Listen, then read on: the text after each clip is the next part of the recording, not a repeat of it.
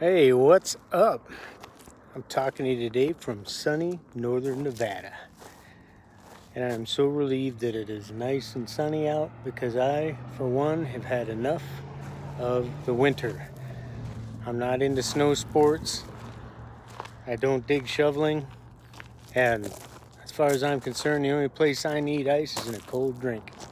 So this weather, for me, is awesome. Not to mention the time changed. So this is the time of year to get things done for me.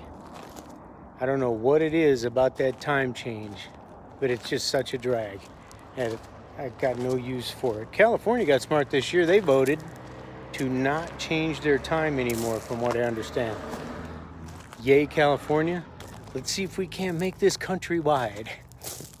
maybe it's the last thing Trump will do while he's in office. I don't know. Or maybe the first thing in his next term, which may be great for you or scary, depending on what you think. Anyway, I was reading an email today from a guy who was talking about a post on Facebook, and apparently it was a marketer that had done some really big stuff on Facebook, uh, quarter million dollar ad spend, and like three or four million dollars of revenue.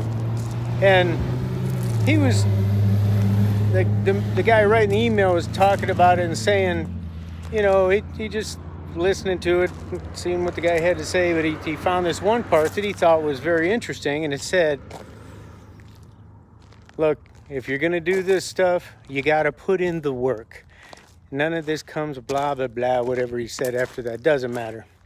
And anyway, the guy writing the email thought that, see, you got to, no matter what you do, you got to put in the work. And for whatever reason, he thought this was very profound or interesting or something. And I thought, really? I'd like to ask you, what the hell do you mean the work? You mean if I want to dig a hole, I actually have to take the shovel and move dirt with it? Really? I mean, what kind of customers does this guy have? Who exactly is he speaking to that you can use a term like the work and it's going to be some profound thing to them?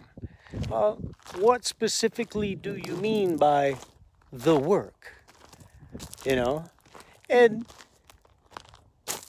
it's like the guy ought to be a politician. You, you, you didn't say anything. You, you are you honestly going to put that out there? You want to act like you have any business whatsoever teaching, but obviously you got the, the ad thing nailed down.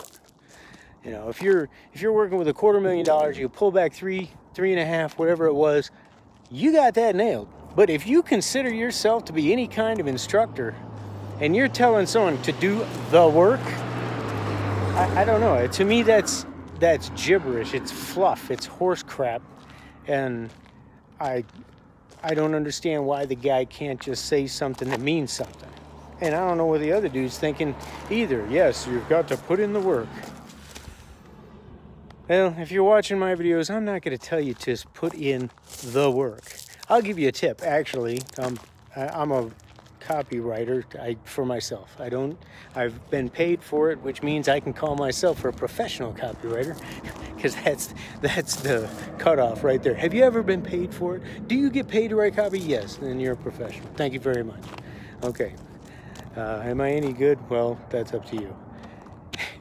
So when you're, but the thing is, when you're doing copy or you're making an ad or you're attempting to sell something, to market things to people, your first thing that you got to do is take a look at the market. And I mean to ratchet it down as deeply as you can go to find out who specifically are you talking to. Even if all things are equal and you've got a difference between are you speaking mainly, yeah. are you speaking mainly to females or males? that's a big difference, right? And when you know their occupations and the, the types of neighborhoods they live in and the types of things they do for fun, the types of things that they watch on TV, the magazines they read, all these things are going to give you more information so that you can speak to those, those people using their language and talking about stuff that they talk about, things that they're interested in and everything else you do to attempt to influence these people to buy your product or service is going to be much more clear and much more easy for you because you understand who you're talking to. So you're going to want to do research on these people and find out about as much find as much about them as you can. That's putting in the work for if you want to write an ad or an email or a sales letter or so, make a video for a certain group of people you're selling to, that's the work that you got to do. It's called research.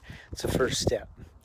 So that's what I got for today. I, I hope you enjoyed it because I had a lot of fun making this video. And anyway, that's all I got for today. And I will see you tomorrow. I'm out.